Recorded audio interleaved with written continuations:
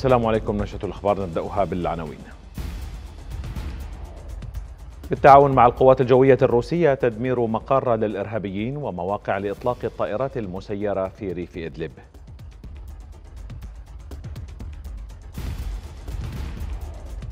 لا هدنة جديدة اشتباكات عنيفة في السودان بين الجيش والدعم السريع.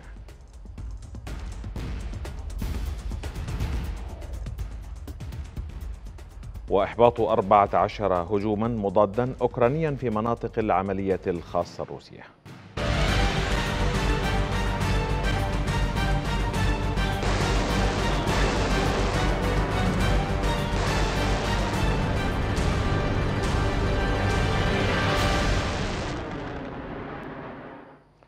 دمر الجيش العربي السوري بالتعاون مع القوات الجوية الروسية مقر ومستودعات للإرهابيين ومواقع لإطلاق الطائرات المسيرة في ريف إدلب بما فيها من أسلحة وذخائر وطيران مسير وقضت على عشرات الإرهابيين.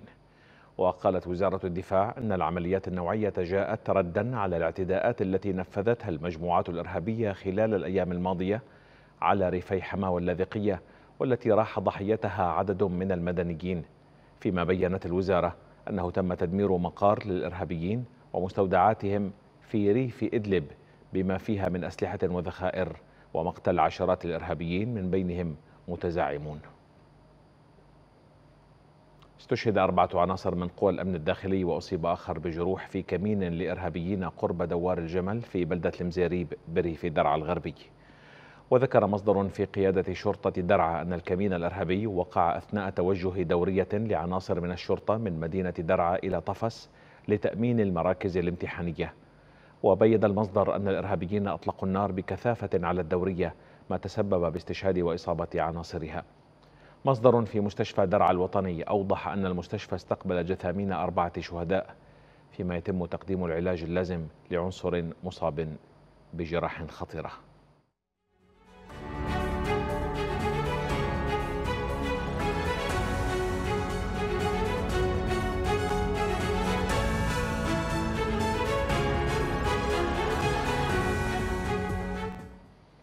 اعتدى مستوطنون على الفلسطينيين في أم صفا بالضفة الغربية وأحرقوا عشرة منازل وسبع مركبات.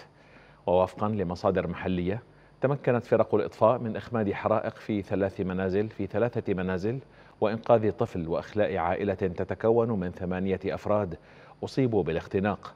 وفي السياق ذاته نددت وزيرة الصحة مي الكيلة باعتداء المستوطنين على مركبة إسعاف تقل مريضا قرب قرية أم صفا.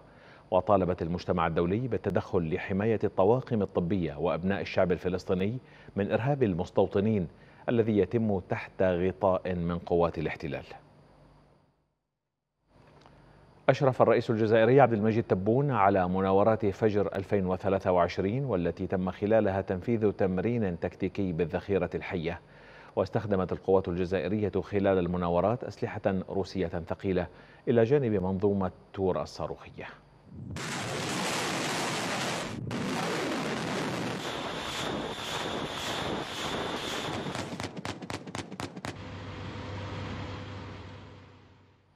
تجددت الاشتباكات بين الجيش السوداني والدعم السريع لليوم الثاني في محيط مقر رئاسة قيادة الاحتياطي المركزي جنوب الخرطوم. وفيما قصف الجيش شرقي العاصمة تجمعات للدعم نفذ قصفا جويا ومدفعيا على مواقع الدعم بالحلفاية شمال الخرطوم. من جهته رد الدعم بالمضادات على حركة الطيران جنوب أم درمان كما زعم أنه أسقط طائرتين للجيش الذي يعاني من نقص حاد في الأسلحة والذخائر بسبب الحصار المضروب عليه.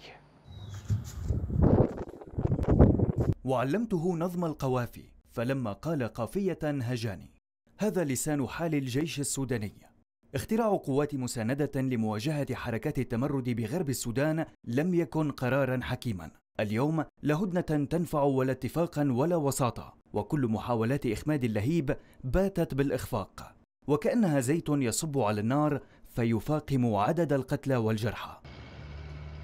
بعد شهرين من الصراع الدائر يشعر عناصر قوات الدعم براحة أكبر كل يوم للتحرك في الأرجاء والشوارع تحديدا بعد أن تركت أجزاء كبيرة من الخرطوم تحت سيطرتهم.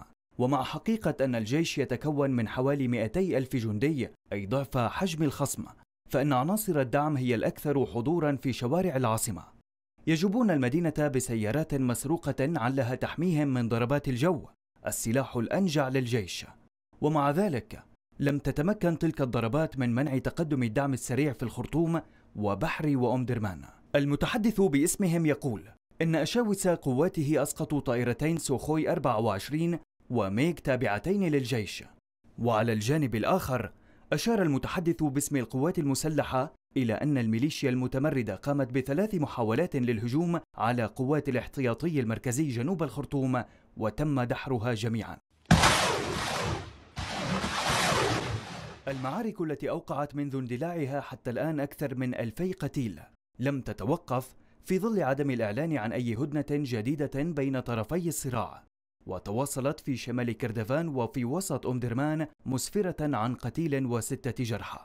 ومع انسداد الأفق الدبلوماسي وتعليق واشنطن جهود الوساطة التي كانت تقوم بها مع الرياض والتي كانت تهدف إلى توفير ممرات آمنة للمساعدات الإنسانية تتواصل معاناة المدنيين. وبلغ عدد النازحين مليوني شخص في مختلف أنحاء السودان. تزامن مع خروج نحو ثلثي مرافق الرعاية الصحية من الخدمة في مناطق القتال.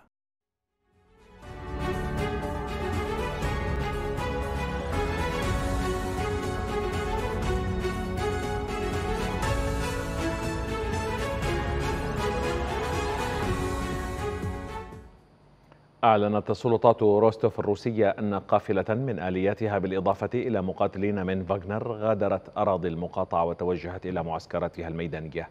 وفيما تم طي ملف العصيان الذي قاده مؤسس فاغنر يفغيني بريغوجين باختياره مغادرة روسيا إلى بيلاروس. عادت حركة المرور على الطرقات إلى طبيعتها في مقاطعة ليبيتسك وكالوغا وفورونيج.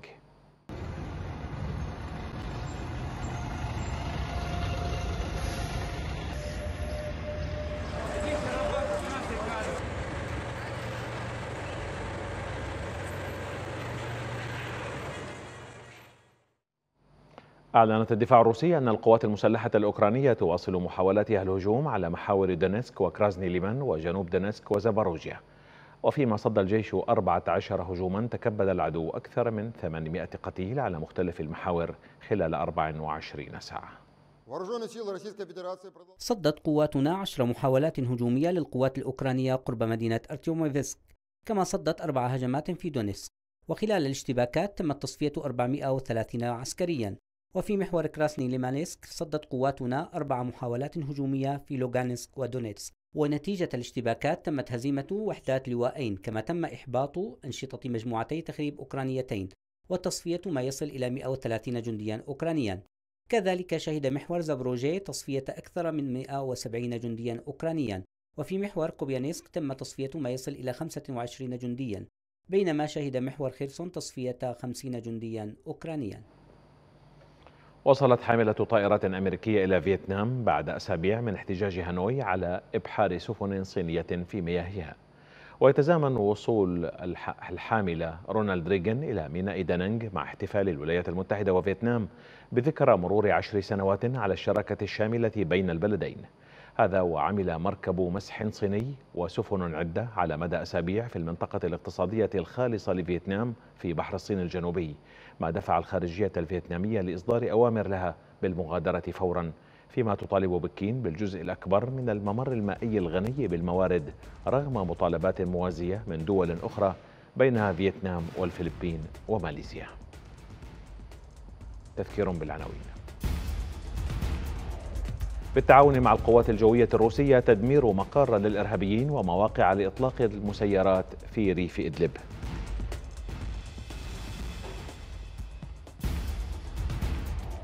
لا هدنة جديدة. اشتباكات عنيفة بين الجيش السوداني وقوات الدعم السريع.